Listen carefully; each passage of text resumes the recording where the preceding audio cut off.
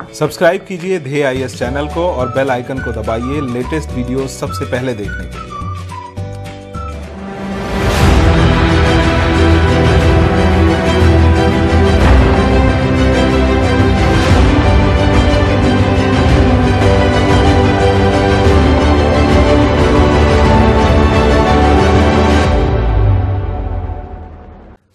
नमस्कार धीर टीवी में आपका स्वागत है। मैं हूँ कुर्बान अली। जैसा आप जानते हैं, हमने अपने उन नेताओं और शख्सियतों के बारे में एक श्रृंखला शुरू की है, जिन्होंने हमारे राष्ट्रीय आंदोलन या उसके बाद आज़ाद हिंदुस्तान में आम जनता को या इस देश की राजनीति को प्रभावित किया, जो आम लोगों के हीरो बने और जननायक कहलाए। इस कड़ी में हम शहीद आज़म भगत सिंह और नेताजी सुभाष चंद्र बोस की चर्चा कर चुके हैं और आज हम इसी क्रम में डॉक्टर राम मनोहर लोहिया की बात करेंगे, जिन्होंने राष्ट्रीय आंदोलन के साथ साथ आज़ाद हिंदुस्तान की राजनीति में भी अहम रोल अदा किया। क्या थे उनके राजनीतिक विचार? क्या था उनकी राजनीति का मकसद?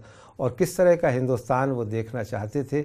इस चर्चा में आज मेरे साथ जुड़ रहे हैं समाजवादी आंदोलन से लंबे समय तक जुड़े रहे देश के जाने माने समाजशास्त्री प्रोफेसर आनंद कुमार और दिल्ली विश्वविद्यालय में प्रोफेसर प्रेम सिंह, जो सोशलिस्ट पार्टी ऑफ़ इंडिया के अध्यक्ष भी हैं। आप दोनों का स्वागत है। इससे पहले कि हम डॉक्टर राम मनोहर लोहिया, उनकी सियासत और उनकी विरासत पर बातचीत शुरू करें।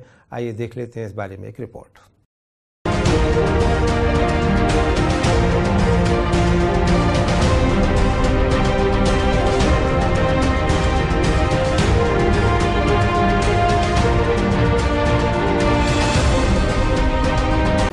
डॉक्टर राम मनोहर लोहिया का भारतीय राजनीति में अहम योगदान रहा है। कई दशकों तक स्वतंत्रता आंदोलन का हिस्सा रहे, लोहिया छोटी सी उम्र से ही भारतीय स्वतंत्रता आंदोलन में शरीक हो गए। लोहिया 1934 में बनी कांग्रेस सोशलिस्ट पार्टी के संस्थापक सदस्य थे। कांग्रेस सोशलिस्ट पार्टी के नेताओं में लोहिया के साथ जयप्रकाश नारायण, आचार्य नरेंद्र देव और यूसुफ मेहर अली जैसे स्वतंत्रता सेनानी शामिल थे। 1942 के भारत छोड़ो आंदोलन में समाजवादियों ने अहम भूमिका निभाई। लोहिया उस वक्त भूमिगत थे और उन्होंने कांग्रेस सोशलिस्ट नाम से एक रेडियो चलाया। 1944 में लोहिया गिरफ़्तार कर लिए गए और अंग्रेज़ों ने उन्हें लाहौर जेल में बंद कर दिया।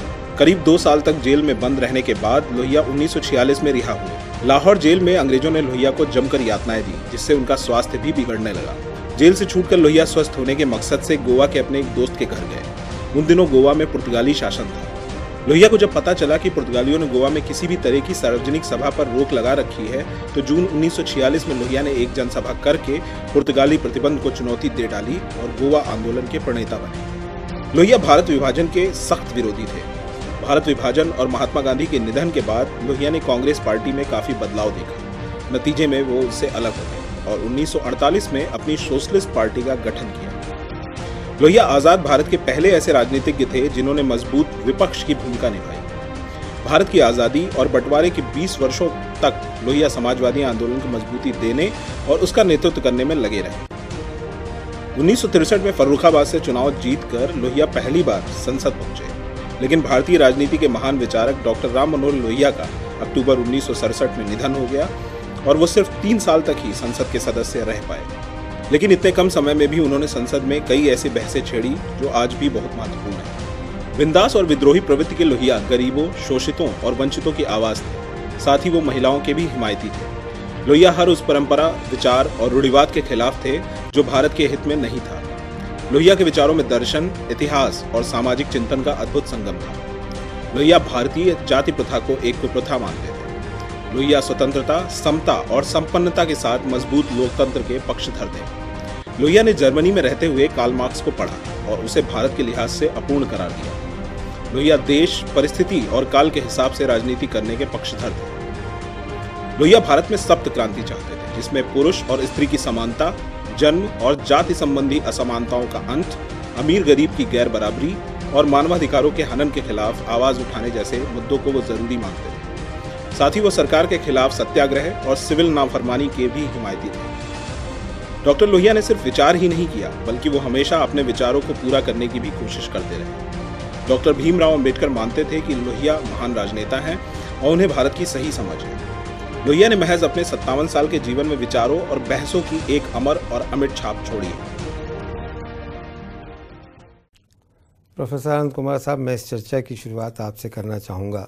आपका राम मनोहर लोहिया से बड़ा नज़दीकी ताल्लुक़ रहा है। पारिवारिक कारणों से भी और फिर बाद में आपने जब छात्र राजनीति की अपनी शुरुआत की, अब उनकी राजनीति के पहलुओं के बारे में बाद में आएँगे। जो शुरुआती लोहिया हैं, एक युवा लोहिया जो जर्मनी जाता है, पढ़ता है और फिर वहाँ से आकर के, और जर्मनी में जाकर के भी वो गांधी के नमक सत्याग्रह पे अपनी रिसर्च करते हैं और बाग वापस आकर के कांग्रेस पार्टी में शामिल होते हैं। उन्नीस सौ सैंतालीस तक उसका हिस्सा रहते हैं।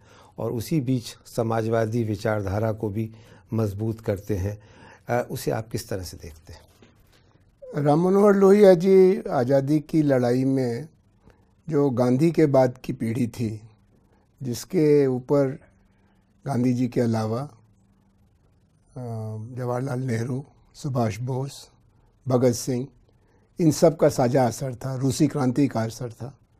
और दुनिया भर में जो साम्राज्यवाद विरोधी आंदोलन चल रहे थे, उसकी प्रेरणा थी, उसकी उपज थी।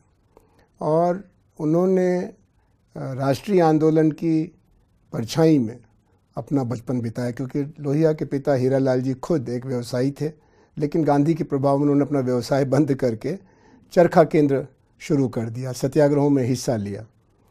लोहिया अत्यंत सुशिक्षित भी थे। भारतीय राष्ट्रीय आंदोलन की लड़ाई में ज़्यादातर नेतृत्व बड़े पढ़े लिखे लोगों का था। लेकिन लोहिया का सौभाग्य ये था कि वो बनारस बम्बई कलकत्ता और बर्लिन चार विद्या केंद्रों में निखारे गए। दूसरी बात लोहिया के बारे में ये कहनी ज़रूरी है कि लोहिया राष्ट्रीय आंदोलन की रफ्तार बढ़ाने वाली पीढ़ी के नायकों में से थे। उनको गांधी का प्रेम तो था, लेकिन गांधी के सत्याग्रह को वो वर्ग और जाति के सवालों से भी जोड़ के देखना चाहते थे, क्योंकि वो अंतर्राष्ट्रीय अर्थशास्त्र के विद्वान थे और अंतर्राष्ट्रीय राजनीति के साझेदार थे। जब वो विद्यार्थी थे, तभी से उनको नेतृत्व की भूमिका निभाने का मौका मिला, क्योंकि यूरोप में जो उस समय के विद्यार्थी थे, उनकी एक यूनियन थी भारतीय विद्यार्थियों की, जिसके वो सेक्रेटरी भी थे। जब वो भारत लौटे तो उनका ये खुशनसीबी का माहौल था कि तुरंत गांधी जी ने उनको पौत्रवत स्वीकार किया और जवाहरलाल ने छोटे भाई की तरह से। और विदेश नीति की रचना करने के लिए भारतीय राष्ट्रीय कांग्रेस के अध्यक्ष के नाते उनको विदेश विभाग का सचिव बनाया। और उनके साथ उस समय जयप्रकाश नारायण अली अशरफ और उनके सबके संयोजक या महामंत्री आचार्य कृपलानी। उसी समय सहजानंद का किसान आंदोलन भी चल रहा था और लोहिया को उसका भी कुछ प्रशिक्षण पाने का मौका मिला। तो आप ये समझ सकते हैं कि लोहिया को एक रफ्तार में चल रही लड़ाई में अगवा पीढ़ी के संरक्षण में नेतृत्व की भूमिका मिली और 22-24 बरस का नौजवान पूरी तरह से सुशिक्षित और ज्ञान और इतिहास से लैस जब उतरता है मैदान में तो उसको समाजवाद भारत का भविष्य दिखाई पड़ता है। जी। इसलिए लोहिया का मूल्यांकन करते समय उनका जो बचपन है, उनकी जो युवावस्था है, उनका जो पारिवारिक परिवेश है और उस समय के राष्ट्रीय आंदोलन की जो विभिन्न धाराएँ हैं, उससे उनका अंतरंग परिचय, ये सब बहुत महत्वपूर्ण हो जाता है। प्रोफेसर प्रेम सिंह, आपका भी समाजवादी आंदोलन से गहरा ताल्लुक़ रहा है और इस वक्त भी आप सोशलिस्ट पार्टी के अध्यक्ष हैं। लोहिया की जो राजनीति की शुरुआत होती है 1933 में, बर्लिन से वापस आने के बाद और 1934 में कांग्रेस सोशलिस्ट पार्टी में शामिल होने के बाद। तो कहा यह जाता है कि सोशलिस्ट पार्टी में जो लोग थे जिन लोगों ने कायम की आ, वो सारे ज़्यादातर वो लोग थे जो कि नासिक जेल में बंद थे और मार्क्सवादी विचारधाराओं का बहुत असर था। खुद जयप्रकाश नारायण अपने आप को मार्क्सिस्ट कहते थे आचार्य नरेंद्र तो अंत तक अपने आप को मार्क्सिस्ट कहते रहे और ये कहते रहे कि मार्क्सवाद मुझसे कोई नहीं छीन सकता। लेकिन लोहिया के यहाँ हम ये फ़र्क देखते हैं कि वो अपने एक भाषण में तो कहते हैं, ना मैं मार्क्स समर्थक हूँ, ना मार्क्स विरोधी हूँ। लेकिन जो उनकी पॉलिटिक्स का इंटरप्रिटेशन हम देखते हैं तो वो लगता है कि मार्क्स हिंदुस्तान में इरेलीवेंट हैं। आप किस नज़र से देखते हैं? इरिलेवेंट तो संभवतः उन्होंने नहीं माना है। लेकिन इतना ज़रूर है कि स्वतंत्रता संघर्ष में हिस्सेदारी करते हुए लोहिया का जो विजन था वो स्वतंत्रता के बाद के भारत में समाजवादी संरचना कैसे हो और फिर जो दूसरे भी उपनिवेशित देश हैं उनमें भी समाजवाद कैसे कायम किया जाए उसका क्या स्वरूप होगा उसके लिए किस तरह के चिंतन के औज़ार होंगे तो इस मायने में वो ये समझते थे कि मार्क्सवादी समाजवाद का जो कॉन्सेप्ट है और उसकी जो सैद्धांतिकी है, वो अपर्याप्त है। और उन्होंने ये कहा भी जब वो भूमिगत थे बयालीस के आंदोलन में, जो निबंध अधूरा रह गया इकोनॉमिक्स आफ्टर मार्क्स के लेनिन की इस स्थापना का उन्होंने ज़िक्र किया है कि पूंजीवाद की जो उच्चतम अवस्था होती है, वो साम्राज्यवाद होता है। तो उन्होंने उसे उल्टा कि पूंजीवाद संभव ही साम्राज्यवादी होकर के होता है। तो मुझे ऐसा लगता है कि लोहिया जी इस धारणा को स्वीकार नहीं कर पाते हैं कि पूंजीवाद को पहले आने दिया जाए, उसे पूरी तरह से फलीभूत होने दिया जाए और उसमें से एक समाजवादी और फिर साम्यवादी समाज की व्यवस्था निकलेगी। तभी यहीं से वो शायद गांधी की तरफ़ गए हैं और उन्होंने जो समाजवाद उनके नज़रिए में था, उसमें गांधीवाद का फ़िल्टर लगाने की बात की है कि हम पूंजीवाद को पूरी तरह से आहूत करके और उसके साथ जो जुड़ी हुई समस्याएँ हैं, उसके जो दुष्परिणाम हैं, जिनका खुद मार्क्स ने बहुत अच्छी तरह से ज़िक्र किया है, उसमें उन्होंने पर्यावरण वाला पहलू भी जोड़ा। तो उन्होंने कहा कि उन्हें हम क्यों आहूत करें?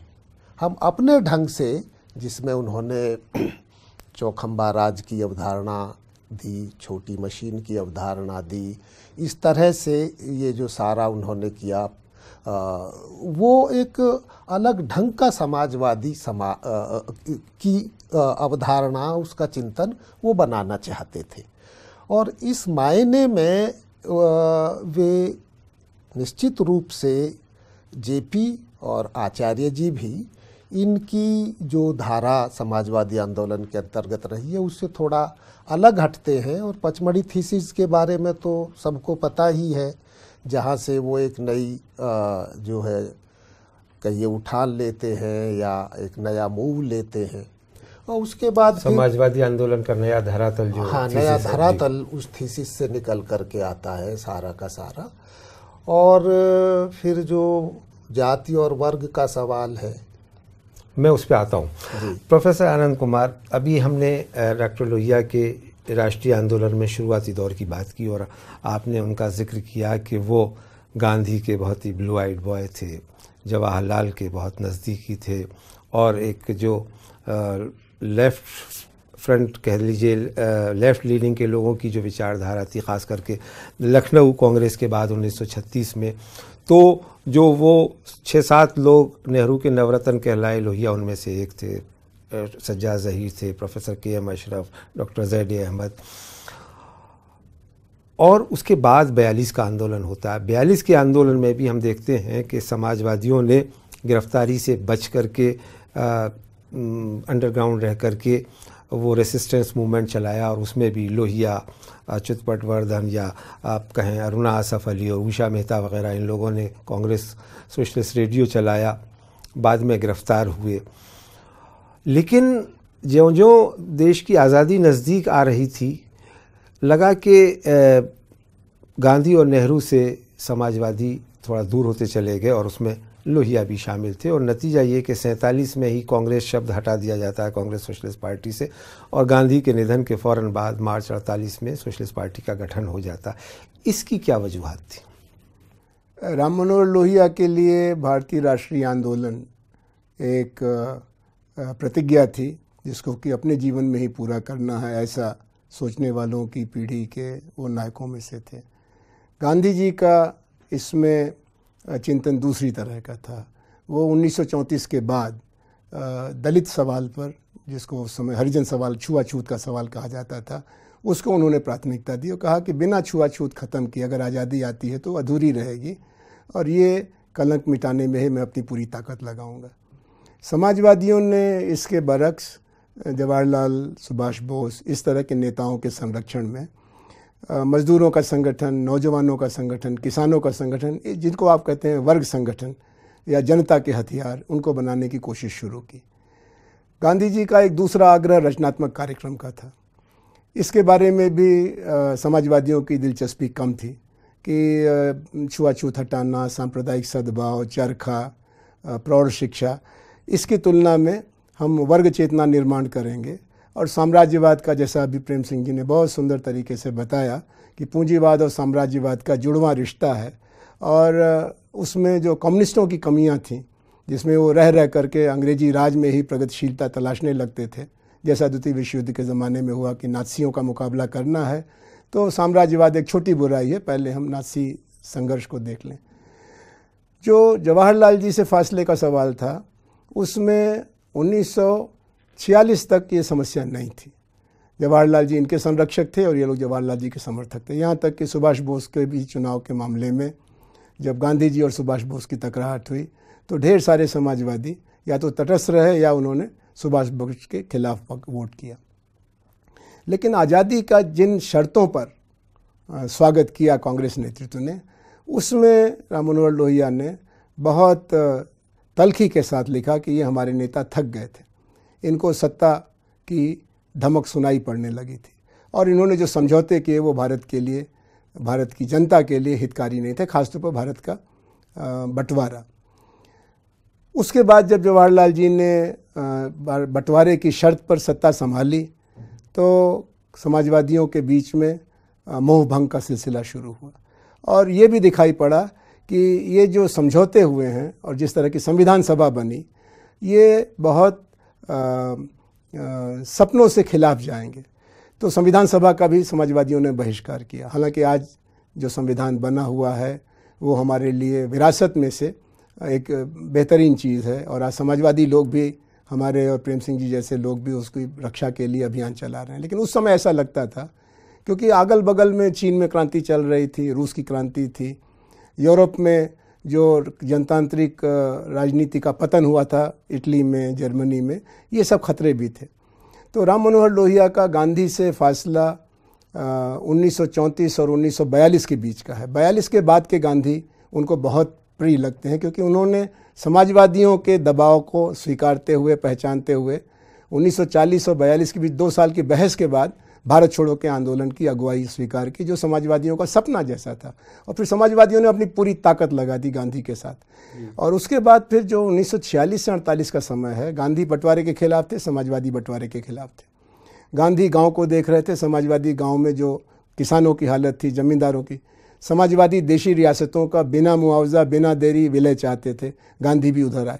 तो गांधी और लोहिया की और बाकी समाजवादियों की, जयप्रकाश, नरेंद्र देव, यूसुफ मेहर अली की निकटता बढ़ी है, बयालीस और अड़तालीस के बीच में। मरने के बाद तो वो और भी ज़्यादा आकर्षक हो गए, खासतौर पर जो लोहिया ने गांधी का मूल्यांकन किया है। उसमें कहा है कि गांधी की जो सबसे बड़ी देन है दुनिया को और गरीबों को ख़ास तौर पर, वो है सत्याग्रह का औज़ार और अहिंसा के ज़रिए दिल को मज़बूत करने का, निर्भय होने का रास्ता। जवाहरलाल जी के बारे में आज सारा देश उनकी बहुत निंदा करता है। लेकिन जवाहरलाल जी के बारे में राम मनोहर लोहिया और उनके साथ के समाजवादियों की आलोचना व्यक्तिगत नहीं थी। उनकी आज़ादी की लड़ाई की अगुवाई के वो बड़े प्रशंसक थे।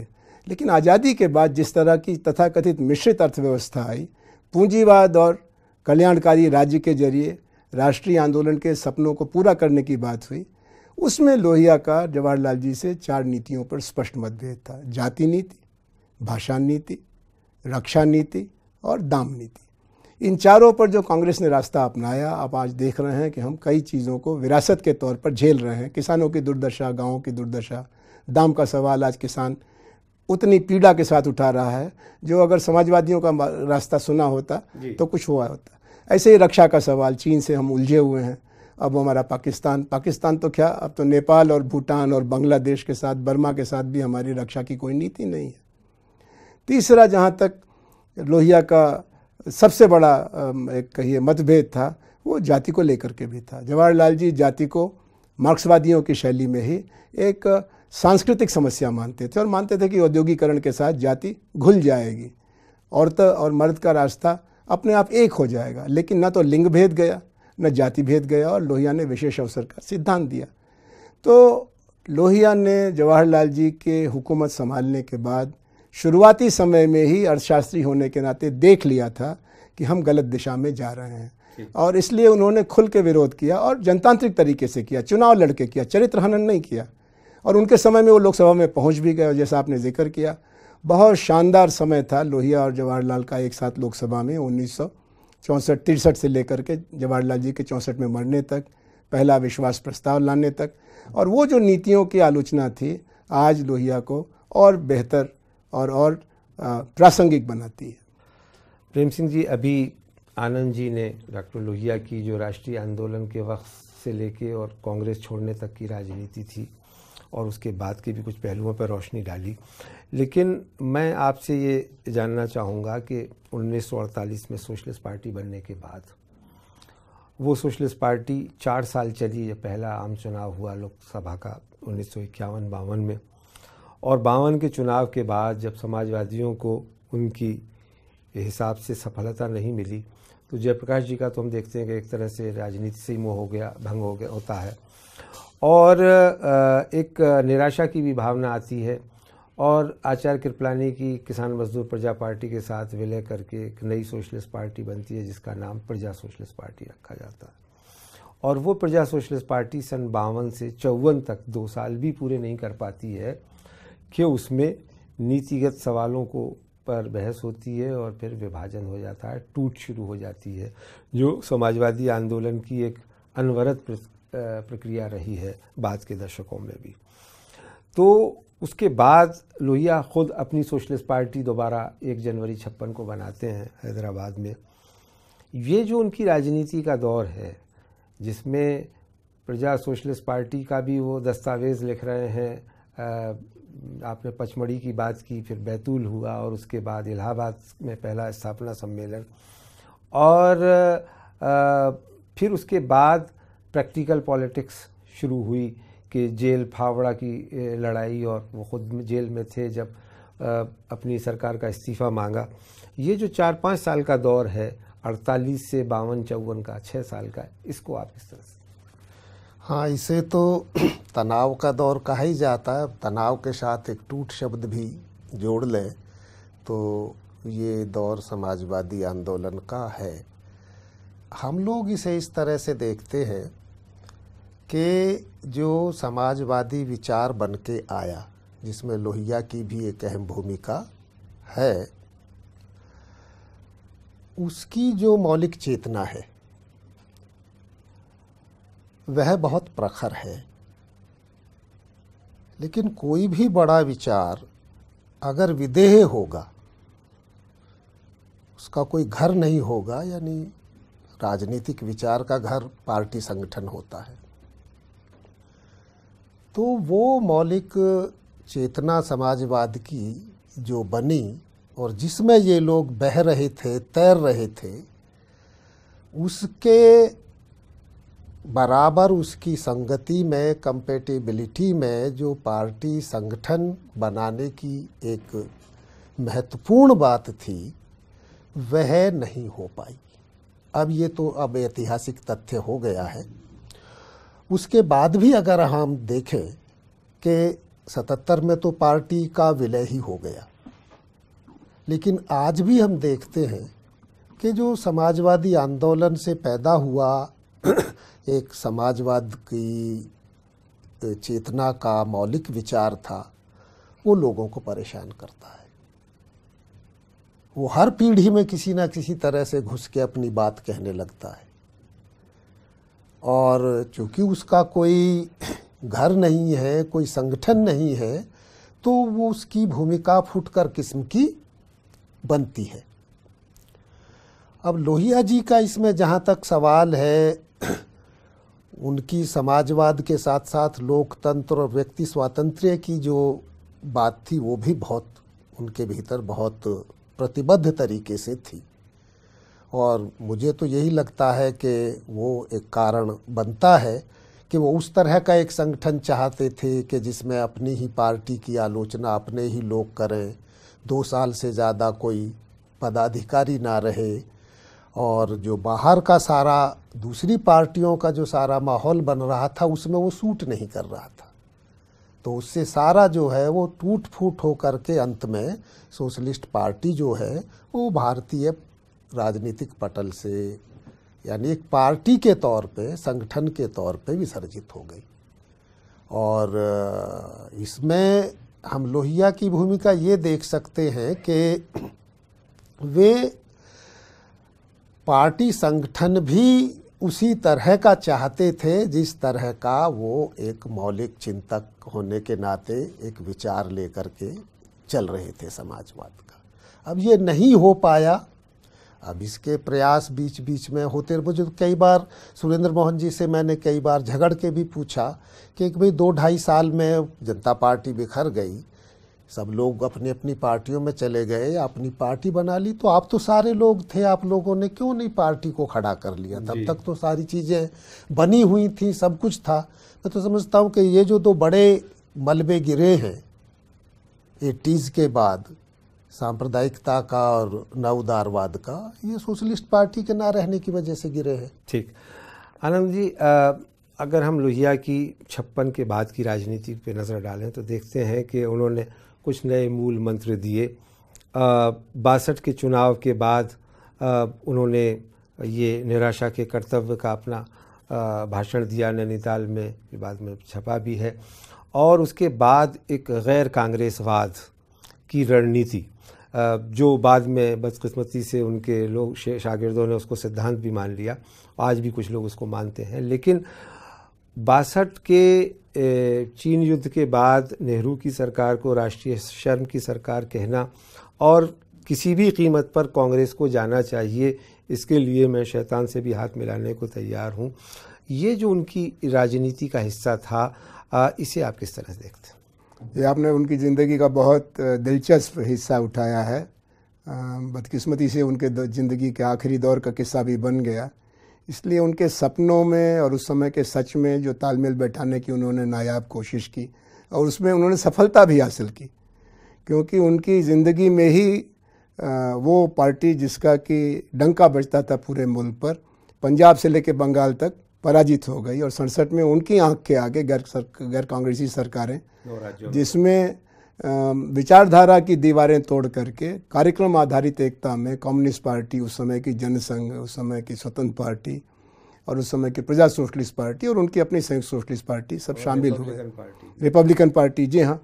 तो लोहिया ने ये जो 11 बरस का समय देखा वो उसमें दो बड़ी चुनौतियाँ थीं। एक तो परिवर्तन की राजनीति। और दूसरी थी संसदीय लोकतंत्र की राजनीति। परिवर्तन की राजनीति के लिए उन्होंने 1948 से लेकर के उन्नीस सौ बासठ तक आँख मूंद करके सत्याग्रह का रास्ता पकड़ा, वर्ग संघर्ष और जाति संगठन का रास्ता पकड़ा और उसमें लोगों का समर्थन लगातार घटता चला गया। बिखराव भी आता चला क्योंकि संघर्ष की राजनीति में आप तपते हैं, जलते हैं, परिवार बिखरते हैं, सेहतें बिगड़ती हैं, मौत आती है। दूसरी तरफ़ जो संसदीय राजनीति थी, उसके प्रति लोगों का आकर्षण घट नहीं रहा था। और उसको उन्होंने माना कि चूँकि एक लंबे अरसे के बाद मुल्क के लोगों को अपनी हुकूमत मिली है, अपना राज्य मिला है 200 बरस की विदेशी गुलामी थी। इसलिए वो उसके सौ गुनाह को भी माफ़ करने को तैयार हैं। और इसलिए हमें ऐसा कुछ करना पड़ेगा कि जो संवैधानिक लोकतांत्रिक व्यवस्था है, उसमें अंदर प्रवेश करके तब हम इन हवा महल में रहने वालों पर चोट करें। और उसका रास्ता उन्होंने बनाया। पहले तो संयुक्त मोर्चा की रणनीति, जिसमें आपको, आपने ज़िक्र ही किया कि उन्नीस में आचार्य कृपलानी, मीनू मसानी, डॉक्टर लोहिया और दीनदयाल उपाध्याय, चार अलग अलग धाराओं के लोग साझा उम्मीदवार के तौर पर खड़े हुए। उनमें से दीनदयाल उपाध्याय को छोड़ के बाकी तीन जीते भी। और वहाँ से कांग्रेस का वर्चस्व टूटना शुरू हुआ। तो लोहिया जी के लिए अभी समाजवाद को लाने के लिए दो शर्तें हो गई। एक तो कांग्रेस का मोह ख़त्म करना और वो ख़त्म होने में चीनी हमले का बड़ा योगदान, सूखे का योगदान, कृषि की दुर्दशा का योगदान, नौजवानों की बेरोजगारी का योगदान। उसको लेकिन उस पूरी ऊर्जा को समेटने के लिए वोट के हथियार का भी इस्तेमाल करना था। और इस मानने में वो लोकतांत्रिक थे, जैसा प्रेम सिंह जी ने कहा। और उस समय चुनाव का समीकरण ये था कि 40 फ़ीसदी से ज़्यादा वोट कभी कांग्रेस को नहीं मिला, लेकिन 60 फ़ीसदी लोगों के खिलाफ वोट देने के बावजूद हुकूमत कांग्रेस की बन जाती थी।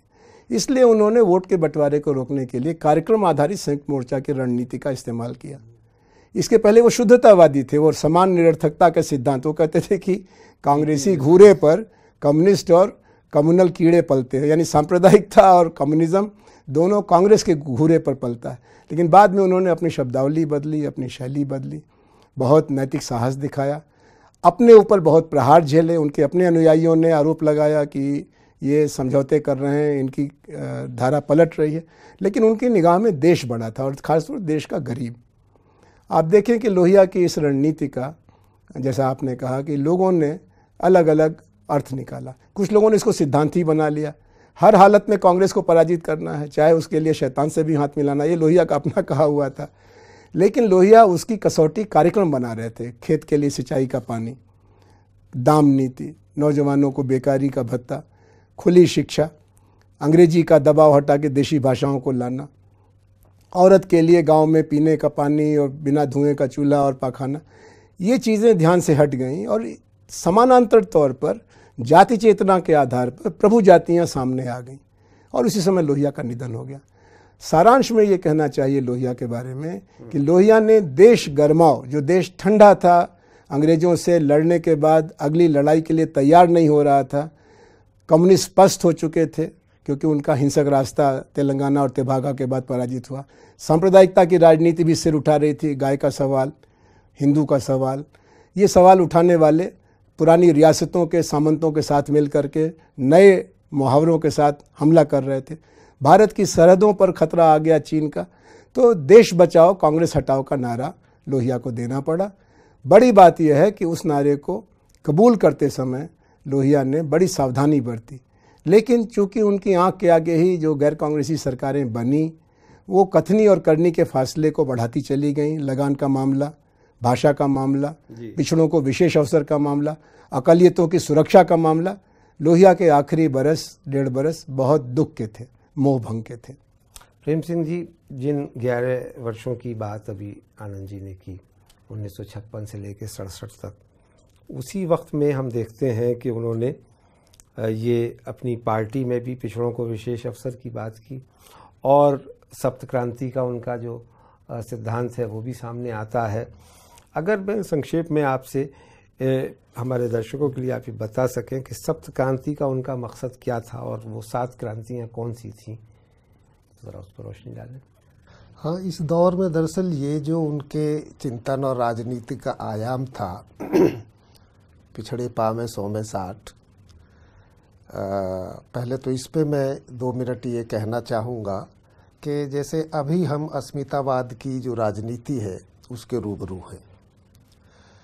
लोहिया ने अपने राजनीतिक चिंतन में बहुत पहले, यानी उसी दौर में, जब ये संघर्ष का सारा दौर चल रहा था, ये एक पाँच समूह का पैकेज जैसे बनाया। जिसमें दलित, आदिवासी, पिछड़े, महिलाएँ और गरीब अल्पसंख्यक। कई जगह वो गरीब मुसलमान भी लिखते हैं कि ये अगर एक साथ होंगे तो उससे भारत की राजनीति अलग ढंग की हो सकती है नई ढंग की हो सकती है। इसका लोगों ने केवल ज़्यादातर वोट की राजनीति के लिए तो इस्तेमाल किया है, पर उसके पीछे उनकी जो मूल मंशा थी, वो तो यही थी कि भारत का ये जो समाज है, ये जो परंपरागत ब्राह्मणिकल ऑर्डर है, उससे भी रिलेटिवली फ्री है, और जो 200-250 साल का कॉलोनियल ऑर्डर है, उससे तो पूरी तरह से फ्री है। तो ये अगर राजनीति में भूमिका लेगा, पार्टी संगठन से लेकर के सरकारों तक तो एक नया दिमाग जो है वो भारत की राजनीति में आगे आएगा। ये करके और इस दिमाग से वो जो काम लेना चाहते थे, वही सप्त क्रांति की उनकी पूरी की पूरी समझ है कि अगर ये सात क्रांतियाँ होनी है, प्रोफेसर साहब ने उसका ज़िक्र भी किया नर नारी समता का है, जाति और वर्ग के खात्मे का है देशों के बीच की गैर बराबरी के खात्मे का है और उसी के साथ अंत में उन्होंने जो वो विचार भी रखा है कि इस सब के साथ जो व्यक्ति स्वातंत्र्य है उसकी भी पूरी गारंटी होनी है। सिविल लिबर्टी हाँ सिविल लिबर्टीज का सवाल जिसे आजकल हम ह्यूमन राइट्स ज़्यादा कहते हैं ये जो सारा है तो ये एक पूरा का पूरा दायरा बनाता है उनकी सोच का कि जो भी नया आ, समाजवादी समाज की दिशा में हम लोग बढ़ सकते हैं तो वो इस बृहत्तर समाज के हवाले भारत की राजनीति को करके बढ़ सकते हैं। हालाँकि उनसे सवाल भी किए गए कि भाई बाकी लोग क्या करेंगे फिर? जो आंदो स्वतंत्रता आंदोलन में भी शामिल रहे खासकर जिन्हें अगड़ी जातियाँ वो कहते थे। तो अब उन्होंने वह ऐसे ही कह दिया हो या उनके मन की ही बात हो तो उनको वो खाद का काम करेंगे। उसमें क्या दिक्कत है? समाज एक है। ये सारा होना है तो वो खाद का काम करेंगे।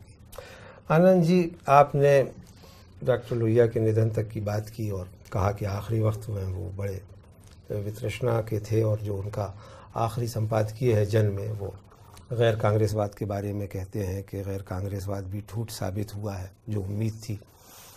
अब इसके बाद जो राजनीति हुई है और उसकी जो विवेचना लोग करते हैं, ख़ास करके राजनीतिक विश्लेषक या सामाजिक विश्लेषक ये कहते हैं कि डॉक्टर लोहिया ने भारत की राजनीति में दो बुराइयाँ पैदा की। एक तो सांप्रदायिक शक्तियों को, के साथ गठजोड़ किया और उससे सांप्रदायिकता मज़बूत हुई और आज वो इस स्थिति में पहुँचे। और दूसरा ये कि जाति की राजनीति करके समाज को तोड़ने का काम हुआ और आज समाजवाद और लोहिया की विरासत के नाम पे हमें जातिवादी दल दिखाई देते हैं। जी जी। इसके बारे में क्या कहेंगे? देखिए समाजशास्त्र के विद्यार्थी के रूप में और राजनीति से सक्रिय सरोकार रखने वाले आज़ाद हिंदुस्तान के नागरिक के रूप में इन दोनों आरोपों के बारे में मुझे कहना पड़ेगा कि ये अत्यंत निराधार और बहुत ही कुटिल दिमाग की उपज।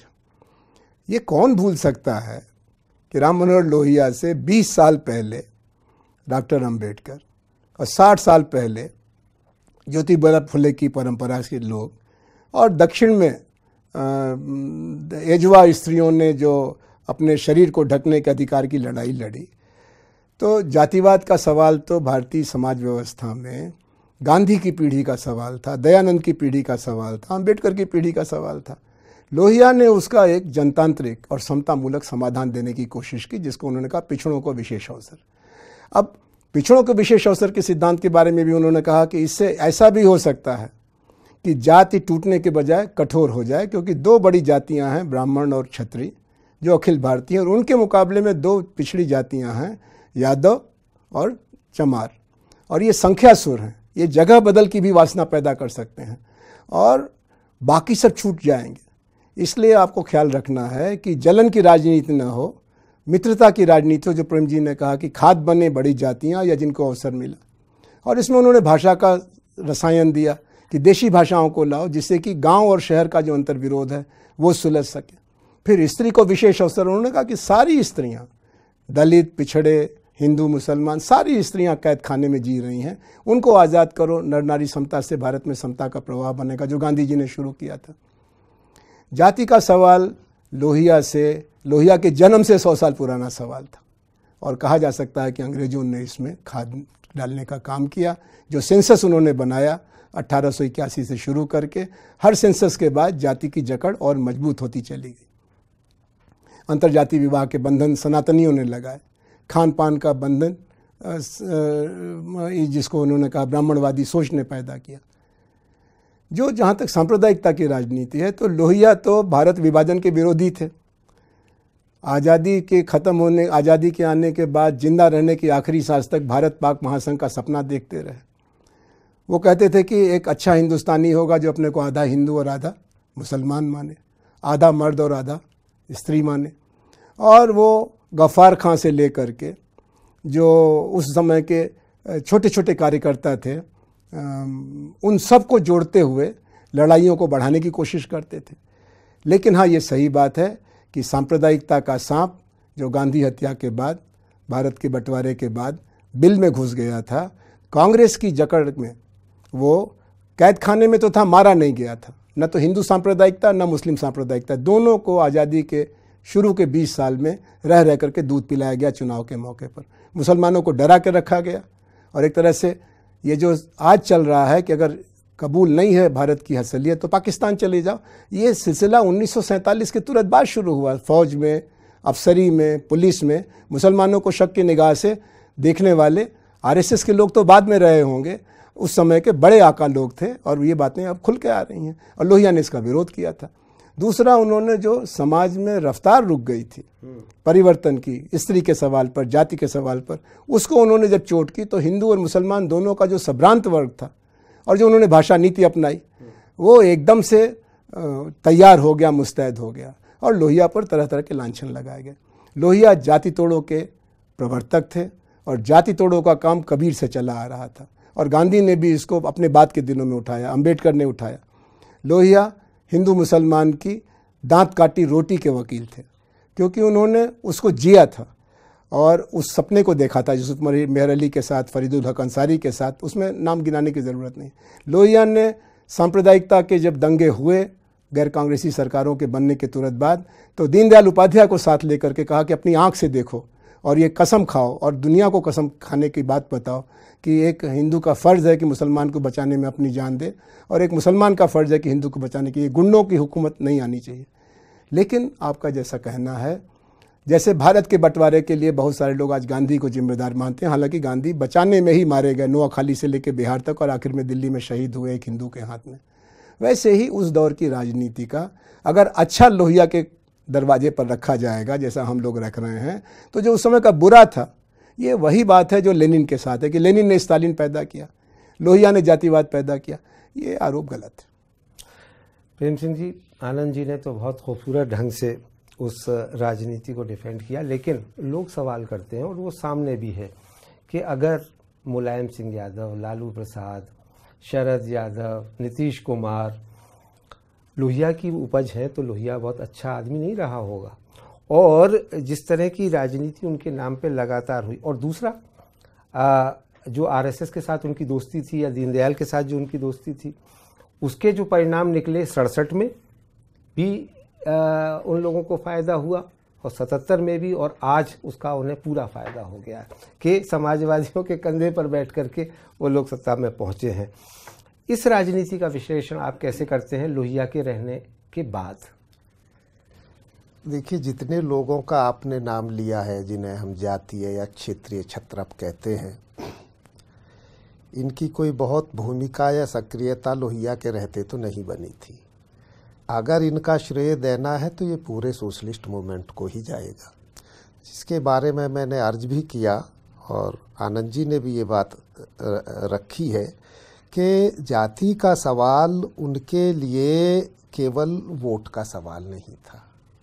उसके, उसकी भीतरी प्रेरणा के बारे में मैंने बताया कि वो सभी जो पिछड़ी जातियाँ हैं, आदिवासी समाज भी उसमें आएगा, दलित समाज भी आएगा, और उन्होंने अल्पसंख्यक समाज को भी जोड़ा और महिलाओं को समग्रता में जोड़ा कि ये जब राजनीति की नई संस्कृति बनाएँगे तो हम ब्राह्मणवाद और उपनिवेशवाद की जो हमारे ऊपर एक जकड़बंदी है, वो टूटेगी। ये एक बड़ी बात थी। अब ये फलीभूत नहीं हुई है तो इसमें लोहिया को दोष मेरे ख्याल से नहीं दिया जाना चाहिए। ये अपने को समाजवादी कहने वाले लोगों की कमज़ोरी है। दूसरी बात, जब लोहिया अकेले संघर्ष से हटकर या थक कर कांग्रेसी चट्टान से टकराने के लिए संवाद धर्मी हुए। तो एक बड़े किसी भी समाज या देश के नेता के नाते वो चाहे लेनिन हो, चाहे माओ हो, कोई भी हो, जो भी राजनीति के मैदान में शक्तियाँ हैं, उनके साथ बात करनी है। अब ये बात तो कह दी जाती है दो तीन आरएसएस या उस समय की जनसंघ के नेताओं को लेकर के, कि उनके साथ उन्होंने तालमेल किया। लेकिन उस तालमेल में कम्युनिस्ट भी उतना ही शामिल थे। और भी कई जो जमातें थीं, वो भी उसमें शामिल थी। तो इसे उसी परिप्रेक्ष्य में देखना चाहिए। अगर लोहिया या जेपी के हाथ रखने से इस देश में कोई पार्टी या कोई नेता रातों रात चमक सकता है तो तो समाजवादियों को चमकना चाहिए था। जो उनके उसी में थे। सांप्रदायिकता की समस्या अठारह सौ सत्तावन के बाद से भारत में लगातार बनी रही। गांधी जी के बावजूद बनी रही गफ्फार खां के बावजूद बनी रही और हमने विभाजन झेला है, उसका ज्वलंत उदाहरण है, पूरी पूरी तरह से। और मेरा अभी भी ये मानना है कि आरएसएस के साथ एक उन्हें बदलने की जो बात जेपी ने अपने आंदोलन के दौरान कही थी, मैं उसमें कोई बुराई नहीं देखता। अगर हम ये मान के बैठ जाएँ कि सामने वाला बदल ही नहीं सकता तो वो मेरे ख्याल से बड़ी राजनीति के लिए अच्छी बात नहीं है। अब दोनों अलग अलग पक्ष बैठ गए हैं अपने अपने में रिजिड हैं और केवल सत्ता पे दाव लगाने की सारी राजनीति सिमट करके रह गई है। तो ये संवाद धर्मी उनके फ़ेज़ का दौर है और इसे उसी नज़रिए से देखा जाना चाहिए। उसके चलते भाजपा आज सत्ता में आ गई है। ये तो बहुत बड़ा सरलीकरण है। जिस तरह का राष्ट्रीय और अंतर्राष्ट्रीय स्तर का सारा काउंटर और वो काउंटर करेंट्स चल रहे हैं उसमें से सारा कुछ निकल के आ रहा है। हमें वो फेस करना है। वो पीछे की एक दो सीटों के तालमेल से ये हो गया है। उससे फांसीवादी आगे बढ़ गए हैं। ये ये नहीं है। ये ये ठीक नहीं इसमें ये भी जोड़ दें तीस सेकंड में कि लोहिया ने उसी समय भारत रक्षा नियम में कम्युनिस्टों के बंद करने का भी विरोध किया। गोपालन को सवाल को लोकसभा में उठाया। कम्युनिस्टों को मोर्चे में उतनी ही जगह मिली जितनी की जनसंघ को मिली। लेकिन जो जनता का रुझान आर्थिक परिस्थितियाँ पूंजीवाद का दौर इन सब में पूंजीवाद और सांप्रदायिकता का गठबंधन ज़्यादा मज़बूत साबित हुआ। श्वेतलाना का सवाल उन्होंने उठाया। हम आखिर में आपसे आनंद जी जानना चाहेंगे कि अगर उसका जिस मैं कहूँ लोहिया की राजनीति का उनकी सियासत उनकी विचारधारा और उनकी विरासत क्या है? देखिए, लोहिया का अगर आप सारांश देखें, जीवन और विचार का तो उसमें बेहतरीन दुनिया बनने की संभावना को लेकर के एक ज़बरदस्त तलब है, एक ज़बरदस्त तलाश है।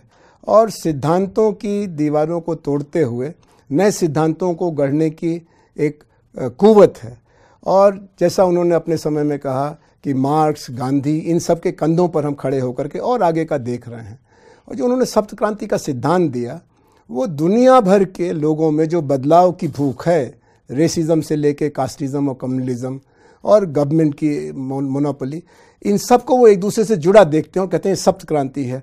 और दूसरा जो उन्होंने इतिहास चक्र का सिद्धांत दिया, वो आशावादी दर्शन है, लेकिन इसके साथ ही उन्होंने सजग भी किया कि निराशा के कर्तव्य, यानी इंसानी निराशा की, इंसान की फितरत ये होती है कि वो अपने से नीचे वाले को दबाए और अपने ऊँचे वाले का चापलूस बने। मुल्क की निराशा जिसमें उन्होंने कहा कि भारत कई कारणों से एक दलदली समाज है कोई चीज़ टिकती नहीं है। बदलाव की भूख बहुत जल्दी हुकूमत की भूख में बदल जाती है। और तीसरा जो उन्होंने समाजवादियों का कहा जो ज़िक्र किया आपने कि विचार में तो तेजस्विता लेकिन संगठन में सुस्ती। इस सब के बावजूद बदलाव के सोते फूट रहे हैं।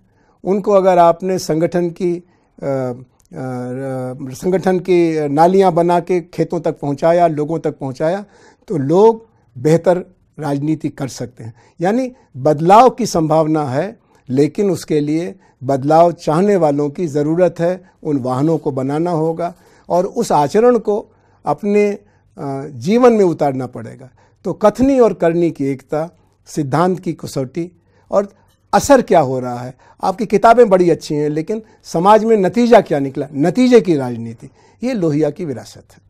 बहुत बहुत शुक्रिया आनंद जी और प्रेम जी, डॉक्टर राम मनोहर लोहिया की सियासत, उनकी विचारधारा और उनकी विरासत पर बात करने के लिए। तो जननायक के इस अंक में मेरे साथ इतना ही। इजाज़त दीजिए। नमस्कार।